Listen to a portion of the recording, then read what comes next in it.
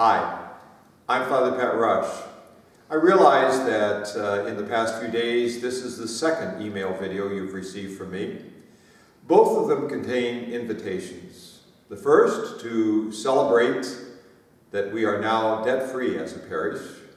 This one to deepen your personal faith and the faith life of our visitation community. This fall, Visitation Parish is going to become engaged in the program Christ Renews His Parish. This program focuses on personal renewal of our relationship with Jesus Christ and a deepening of the faith life of our parish community.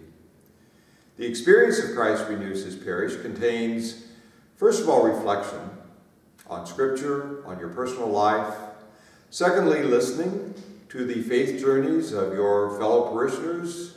And thirdly, celebration of Christ's presence and love in reconciliation and in Eucharist. The weekend for the women's retreat is September 21st and 22nd. The weekend for the men's retreat is October 25th and 26th.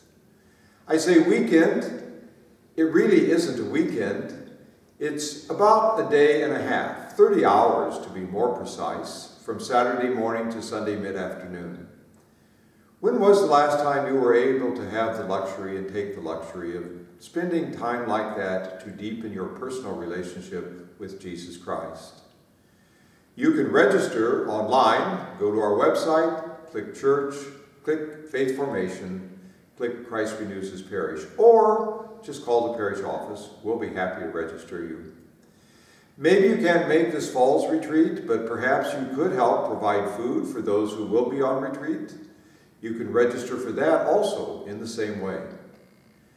And even if you're not part of this fall's Faith Christ Renews His Parish, please do keep in your prayers all of those who will be spending that time with the Lord and with their parish community of visitation.